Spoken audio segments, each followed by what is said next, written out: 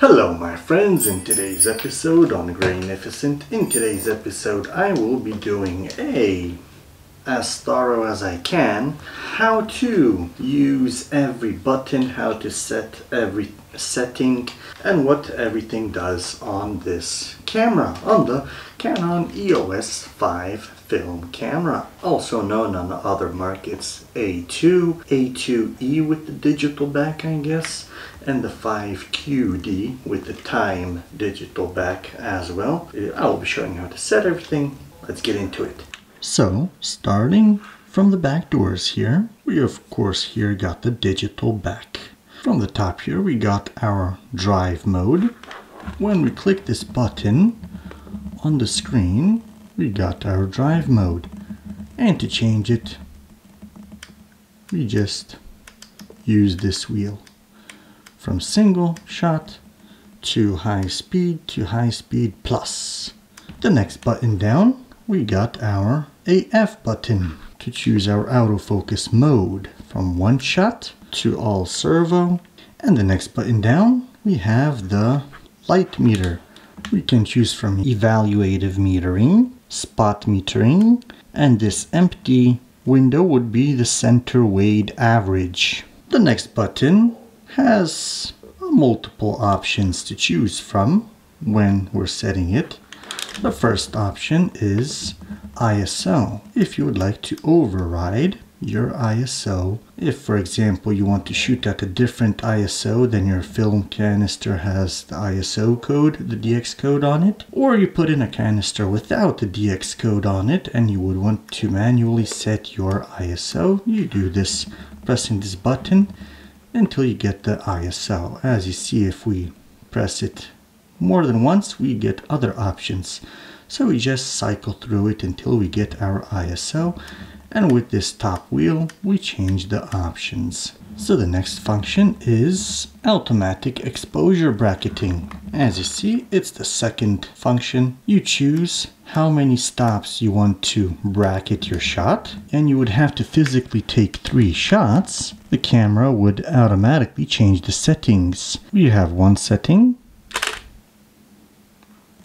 and the second setting and now the third setting, as you see, the light flashes uh, also to tell you which part of the bracket you are taking, just like that. And you start all over from zero. And the next setting is red eye reduction.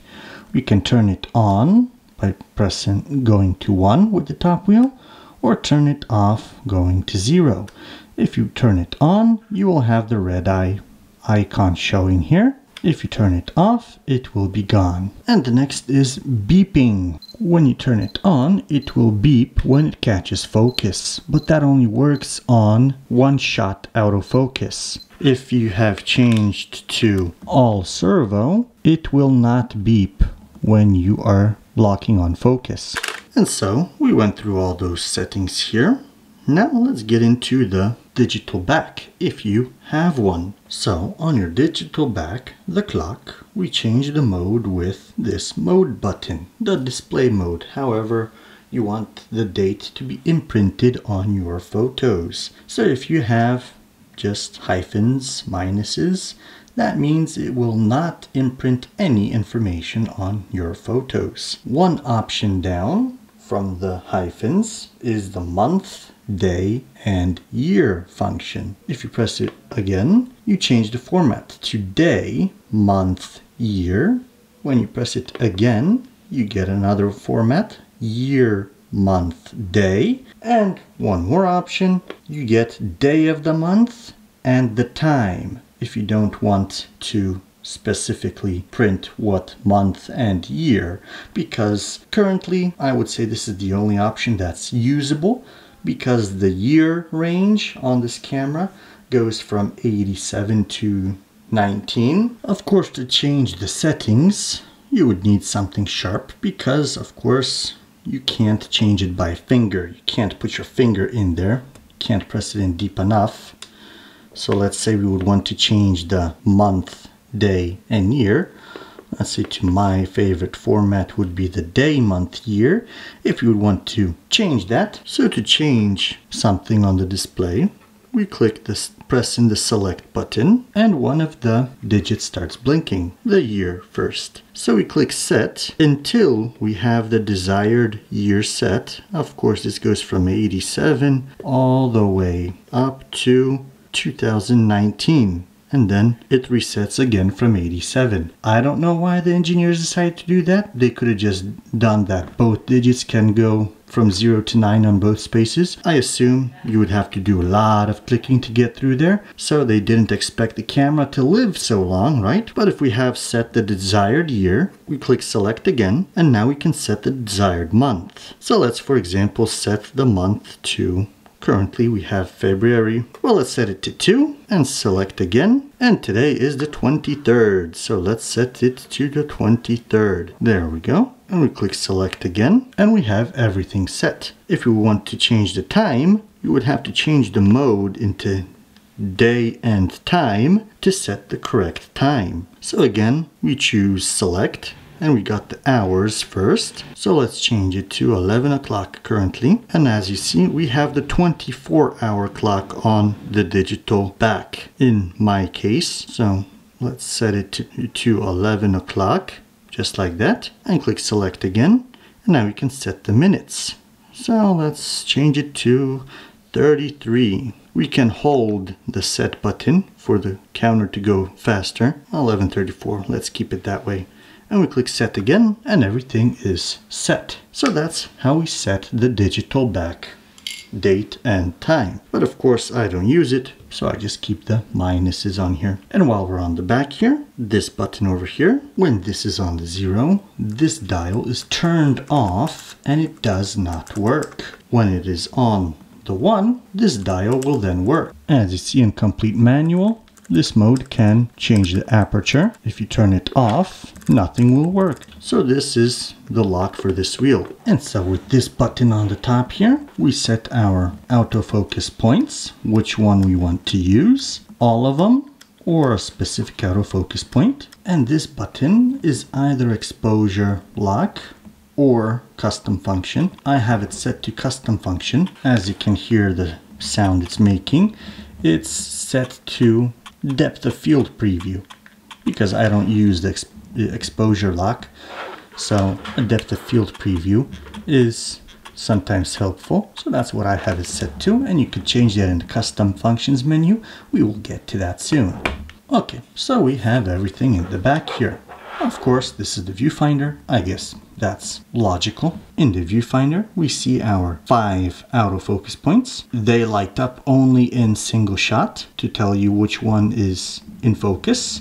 On all servo, at least in my model, I don't know if that's standard, uh, you don't have light up spots. So in all servo, you do not know which one is exactly in focus and which one isn't. So keep that in mind. On the bottom of the screen, when you press in half press the shutter, you will have your settings and your exposure. Of course, I have it set also a custom function that as soon as I let go, it disappears to save battery life. You could set a custom function that this stays lit up even when you let go of your shutter button for some time, but I have it set that it disappears right away. And of course over here, we got the self timer. We click it once and a little clock appears on the screen and we click it again and it disappears.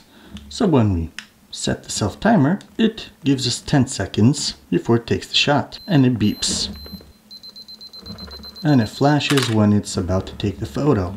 And it's about 10 seconds there. On the top, of course, we got the hot shoe and it has all TTL functionality. And on the opposite side here, we got the flash button. When we press this button, the flash comes out. And in complete manual with the flash out, the flash sync is 1 200th of a second. The built-in flash zooms automatically depending on the chosen focal length. You have to half press the shutter for the setting to update in the flash, but it, it zooms automatically. And the zoom range is for 28, 50, or 80 millimeters. To close the flash, we just press it in. Of course on the top we got our screen, we got our wheel, and we got our shutter release here.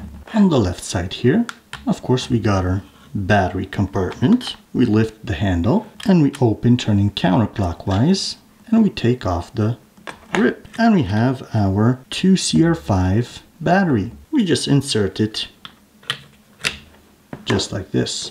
If your battery doesn't have a tag with this indented side inside, you can't really put it in another way. You have to do it just this one way. So when you insert the battery, you put the grip back on and you turn it clockwise to lock and it stays on. This is the manual rewind button over here. Now this port underneath here, under the automat the manual rewind. When you unscrew this, this is the three pin remote switch connection. If you got the remote shutter release, it plugs in right over here. You should have a little plastic tab to protect this port, just like that. Now on the front of the camera, there isn't any buttons. You got your AF assist light over here or the self timer uh, light and of course to release the lens you got the lens release button and you turn the lens counterclockwise when you are holding your camera like that. And inside we got of course the mirror, the connections, uh, standard stuff. So to connect the lens back up, we align the red dots and we lock it in place. And on the lens, depending on what kind of lens you got, you could have an autofocus manual focus button, your zoom ring, and your manual focus ring. Of course, that all depends on the lens you have. So continuing further, on the right side of the camera body, we have the back door open button. And beneath here, of course, another port that is screwed shut with a plastic cap. It's a PC port for an external flash. If you have a flash that doesn't go on a hot shoe, yes, you would want to connect it through the PC port. This is where you connect it to. So while we were inside here, we have the cartridge compartment with the DX code readers, of course the shutter, and on the here we have the pickup spool, the mark where to load the film, how far to load the film, and up here in the corner, of course, we got the infrared film counter. So this camera can't do infrared film photography because you can't turn this off. So it will leave marks on your infrared film because it does give off infrared light. On the back plates here, we got the little window for the film so you see what film you have loaded seals around it so you should make sure that the seals are good and over here we have the little compartment for the for the digital back battery. It says right on there that it uses the CR2025 3 volt battery. You just unscrew this screw and replace the battery when your back isn't working. And over here you have the inside there, you have the digital time imprinting. When you're taking photos and you would want to change to a different roll mid shot, without finishing your roll, and you have your custom function set to leave the film leader out, at any time, you just remember what frame you were on, you click the manual film rewind button, it will rewind the film back, leaving the film leader out. You take the film out, you put in a new film, of course remembering to reach this film loading mark, and you take shots with another film. And again, when you want to change film mid-roll, you manually rewind the film. It leaves the mark out. And how to get back to the frame you were at.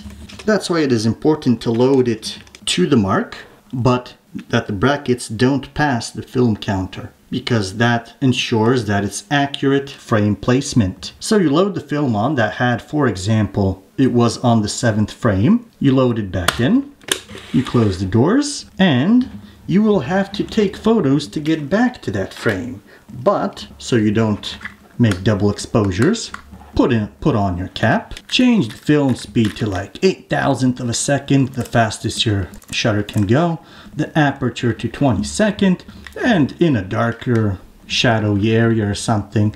So you're 100% triple, double, quadruple sure that you won't make double exposures and you might want to ch change to all servo because in one shot your camera won't want to take a picture without being in focus so either all servo or manual fun focus function if your lens allows that so with all these settings you then take the pictures so you're back to frame 7. At this point, you take the lens cap off, get back to your settings that you want, and you can continue taking photos on this roll without worrying that any frames will be double exposed. So that's how you can change to different multiple types of films without finishing each one. Just keep a marker handy or something so you can mark each roll what frame it was on when you took it out so you know exactly where you were at at that roll. Where would you want to use such function? Like for example using high speed film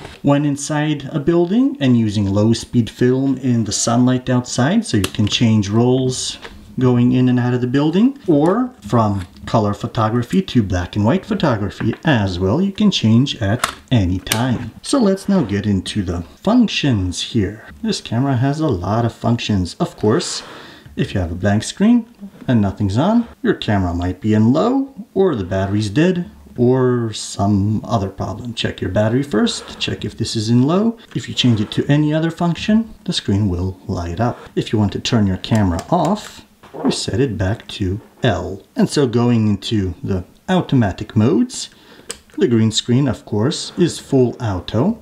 In the full auto mode, the interesting thing is that if the flash is needed, it will pop out automatically, flash for the photo, and hide by itself. Just like that. So that's a little funny, interesting option that it doesn't stay out like in most cameras that you have to manually press it in. It just comes out whenever it needed. And if it decides it doesn't need a flash, it won't pop out.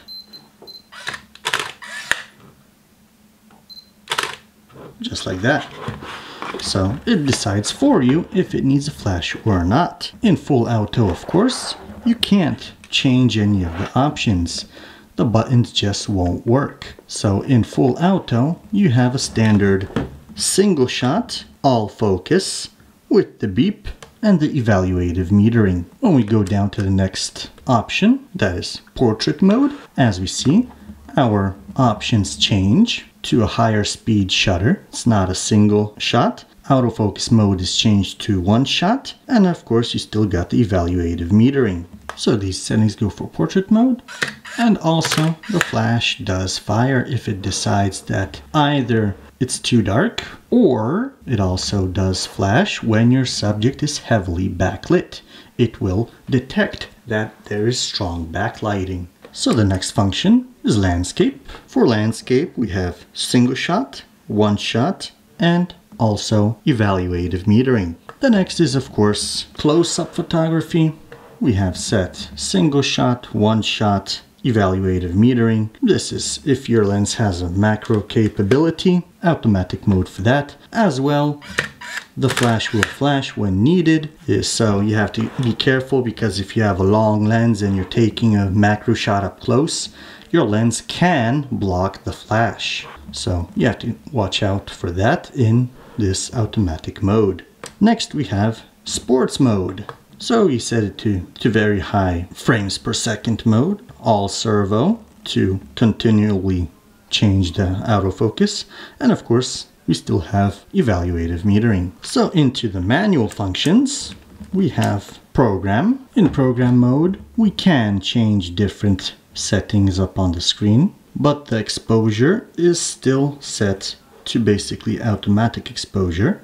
When turning the back wheel, you can set exposure compensation when the shutter is half pressed. And when the shutter is half pressed, of course, if you have the metering on for some time after you release the shutter, then it won't disappear too quickly. My camera stops metering as soon as I let go because that's how it's set. But if you do double fingers, when you half press the shutter and you use the top wheel, it changes to different exposure settings to keep the same exposure. Now in TV mode, we watch TV on the screen, of course. Stupid joke. TV is time priority or shutter priority, however you want to call it. In this mode, you change the shutter speed and the camera automatically decides which aperture is best. Of course, if your aperture is blinking, that means it is the camera wants a different aperture setting than available by your camera. As you see, it chooses the aperture, but if it can't choose the aperture, it will be blinking. Next to 9 we have aperture priority. In aperture priority, we have the opposite way around. You choose the aperture with the top wheel and the camera will decide about the time, the shutter speed. Just like that. And the next mode we have is manual mode. Of course, in manual mode, you decide about each and every setting. The back wheel goes for the aperture and the top wheel goes for the shutter speed. In depth of field mode, it is an interesting mode on this camera because you point to your first object, half press, and you got DEP1. That means it detected the first object. Change object and click again, you got DEP2. That means it detected the second object. And third time for the exposure, and you click the photo. In this mode, the camera will decide what aperture to use depending on the distance between the two subjects. So you will have both of them in focus. Of course, if the distance between them is too far, then it's not going to work. Checking it on a wide angle lens, it's much, much easier to get very big depth of field. If you would have a very long lens, that might be harder to achieve because your camera would want a higher aperture than physically possible by the lens to get a very big depth of field. So you have to keep that in mind, of course. Next, we have the X mode. That's for the X-Men. That's when they come in to help. Of course, joke again. Yes, that's the flash mode. If you're using external flash, not through the hot shoe. This time with the top wheel, you change your aperture. And with the back wheel, you change different flash sync speeds that are possible. It goes from 60 all the way up to 200 depending on the flash you are using. So you have to check in the manual of the specific flash you are using this mode on. And the top button, calibrate. The calibrate button, of course, is for the eye focusing mode. That means the camera focuses using the autofocus point your eye is looking at out of the five you have. When you get into calibrate, you have that the eye focus is off. If you want to turn it on, you choose the calibration profile. If it's blinking, that means it's not set. One and two are not blinking, that means they're set because I was testing it out before. If you want to set a new profile for one, we just get in, get in there. When it starts blinking, we put our eye to the camera. We look at the blinking autofocus point and we click the shutter halfway. And when it registers our eye looking at it, the opposite side blinks for you to look at the opposite side. So you look at the opposite side and you press the shutter halfway in as well. And on the bottom it will say end calibration. That means it calibrated successfully. And now you could use your eye to choose which points you want to focus on. Of course, that is only available in one shot autofocus. That is not available in automatic all servo focus. Also, when you calibrate your eye and you have profile selected, you will have a little marker here showing you that eye focus is on. To turn off eye focus, you go back into calibrate and you change it to off. You choose a profile, go back to taking photos to use it. When you don't need it, you change it to off and then go back to the selected mode. So then we go into the custom function menu. We change the functions with the top wheel. And if you want to change the setting, we use the CF button over here to change it from 0 to 1, depending if you want to turn it on or off. So custom function 1 changes the speed of rewinding the film. 1 is the high speed mode, 0 is the standard speed mode. I always have it set to high speed mode. I haven't found any much uh, use for the standard mode. I don't know if, I, I guess the high speed mode just uses up your battery a little bit faster, but you could change that here. Custom setting 2 is the setting we like if we want to leave the film leader out when rewinding. When it's set to 0, it will rewind the film all the way back into the cartridge. When we set it to 1, it leaves the film leader out when rewinding. Custom function 3 This function cancels automatic film speed setting with DX coded film. So if, if you want that on, the automatic settings will not work. If you turn it off to zero, that means the camera will read the code from the cartridge and decide about the ISO. Of course, you can always override that.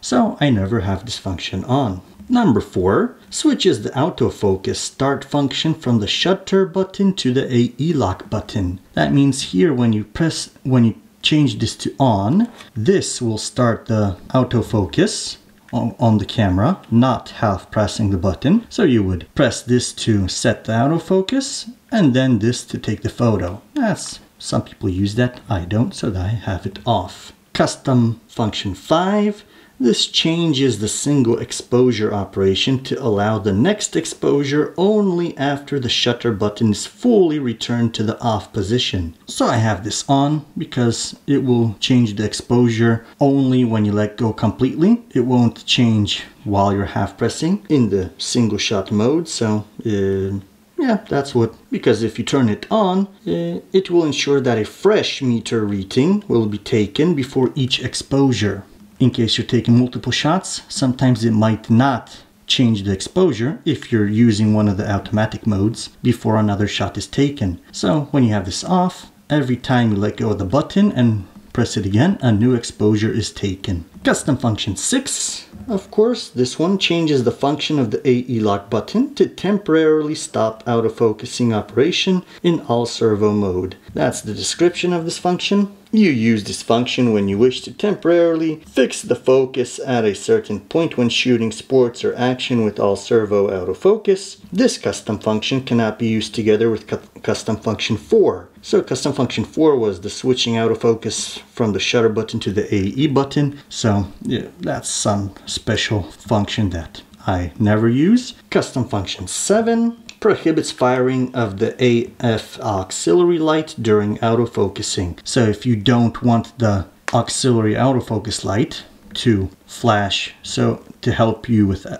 autofocusing for example if there's two photographers taking photos another photographer taking a photograph while your AF light is on, uh, it will come out on his photos. So I keep that to zero. That means my AF light does fire because it's most of the times helpful. If I were shooting with a second photographer, this option would be set to 1 to prohibit firing of the AF assist beam. So custom function 8 prohibits cancellation of multiple exposure mode after a single frame. Yeah, so that's with the that's a custom function for the exposure bracketing mode. Uh, I don't use that as well. It prohibits cancellation of multiple exposure mode after a single frame. That means you have to take the three exposures if you turn this on in the bracketing mode. It's just a little setting that you don't accidentally cancel the exposure bracketing. And custom function 9, that's fixes the shutter speed at 1